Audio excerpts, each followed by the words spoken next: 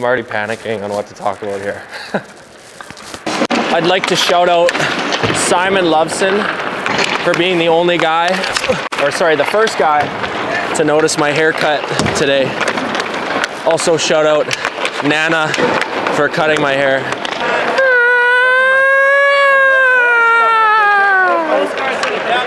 Watch, I'm gonna go by Scotty here and he's gonna yell at me. Or not yell, but. I suck. Scotty's a screen ager. He needs all the attention. Bobo's a screen ager. Yeah. Teenager? Screen ager? You never heard of that? I'm not a If you know, you know. I don't know what any of the drills are yet, so I just follow the crowd. For, for the fans at home, how are like, and definitely not me. Like, what are we doing this drill?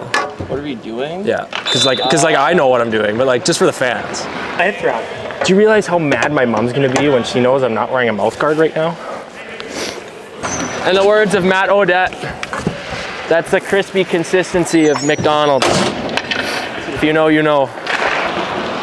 I'd wet my pants right now for another set of Dons. Oh, that's so bad. How's my breath? That's so hey, good. try. Actually. You know who's got really bad breath? Who?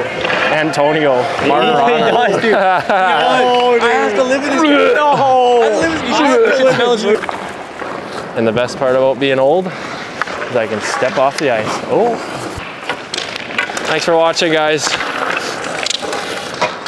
Had a good day today. See ya.